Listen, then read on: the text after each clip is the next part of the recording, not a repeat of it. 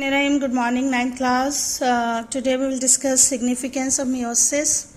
Uh, the uh, the significance of meiosis was first described by uh, August Weismann in 1890. Okay, uh, actually this process is important in reproduction and inheritance. And August Weismann he uh, pointed out that meiosis is important uh, not only to maintain chromosome number in next generation but it also produce variation in next generation. Okay these are the two uh, important significance which we'll discuss to, uh, today. Okay first one is the maintenance of chromosome number in next generation. Okay how chromosome number is uh, remains same uh, after generation after generation uh, this is uh, because of the process of meiosis. Actually, as you know, uh, meiosis uh, is very important in sexual reproduction uh, because, uh, as you know, mother cells, which is known as gamete mother cells or germline cells, they produce gametes through the process of meiosis. Okay, so um, diploid uh, gamete mother cells or germline cells they produce gametes which is haploid through the process of meiosis. Okay these gametes uh, is uh, of female and male uh, then they unite are combined and then they produce a zygote. Zygote is again diploid. So from germline cell which is diploid uh, cell it produces uh, gamete uh, through the process of meiosis and these uh, male and female gamete then uh, combine and then they form zygote which is diploid. And then this zygote uh, uh, repeatedly divide through mitosis and then again new diploid human is produced. So from diploid mother cells diploid human is produced because of the process of meiosis.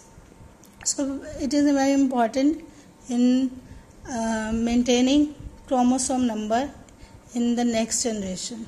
Okay, similarly in fungi, uh, haploid uh, fungi uh, produce uh, gametes through mitosis. So, fungi में जो है mitosis के through gametes produce होते हैं but humans में meiosis का process होता है okay now in plant how chromosome number is maintain it's is basically through the process of alternation of generation okay now what is this alternation of generation this diagram basically show alternation of generation in plants basically there are two different generations are present in a plant uh, life cycle. One is sporophyte generation and other one is gametophyte generation. Sporophyte uh, generation form gametophyte generation and then gametophyte generation forms sporophyte generation. Okay? So these two generations comes one after another. That's why this um, uh, plant life cycle shows a alternation of generation actually what happens uh, sporophyte generation which is uh, diploid and it uh, produce spores by the process of meiosis okay? Uh, because meiosis occur so uh, sporophyte generation which is diploid uh, it produce spore which is haploid okay? Then these spore, spores undergo mitosis and then it produce gametophyte spores grow करेंगे and then it will produce gametophyte which is again haploid these gametophyte uh, then um, by the process of mitosis they produce different gametes okay two gametes form होंगे male and female gametes form होंगे then these gametes which is haploid then they combine together and then zygote is produced zygote is uh, diploid then this zygote uh, then divide repeatedly through mitosis and again sporophyte generation is produced. So uh, sporophyte generation uh, change into gametophyte and gametophyte generations produce sporophyte generation. So that's how chromosome number is maintained in next generation by the process of meiosis okay, so this is the first significance of meiosis that chromosome number जो हैं, वो आपके next generation में हमेशा same रहते हैं। जैसे humans के 46 क्रोमोसोम है, वो हमेशा 46 ही रहेंगे next generation because in mother cells और germ line cells meiosis occur वो डिवाइड होंगे और देन वो हेप्लॉइड सेल प्रोड्यूस करेंगे and that's how they again form zygote.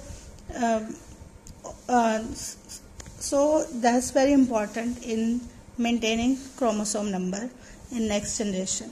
Okay, next uh, significance which is described by August Weismann, is the production of variation in next generation. Now how uh, variation are changing variation means basically change in next generation how uh, uh offsprings are little bit different from their uh, parents uh, uh, किस तरह से जो हैं वो offspring अपने parents से different होते हैं because of the process of meiosis actually we have discussed that uh, chromosome pairs uh, of each parent uh, undergo the process of crossing over during meiosis, ठीक है? हमने meiosis का process में discuss किया था crossing over का process होता है, जिसमें क्या होता है कि होमोलोगस क्रोमोसोम जो हैं, वो अपने डिफरेंट सेगमेंट्स जो हैं, वो एक्सचेंज करते हैं, जिसकी वजह से क्या होता है? वेरिएशन प्रोड्यूस होती है। So the daughter cells that is gamete produce by meiosis, have genetic variation and then these gametes fuse uh, to form zygote and this zygote's gen genetic makeup is different from both parents. So uh, this crossing over process which occur in meiosis is responsible for producing variation in next generation. That's why uh, meiosis allows a species to bring variation in next generation. Uh, beneficial variation help organisms to adopt to the change in the environments so ये variation बहुत important होती हैं क्योंकि इसके थोड़ी अपने environment के हिसाब से ऑर्गेनिजम्स के अंदर थोड़ी बहुत चेंजेस आती हैं और वो उसके हिसाब से अपने आप को अडाप्ट करता है अपने आप को अडेप्टशंस जो हैं वो भी इसी वजह से होती हैं। So that's why meiosis very important in producing variation in next generation okay so this is uh, today's lecture. Le learn it.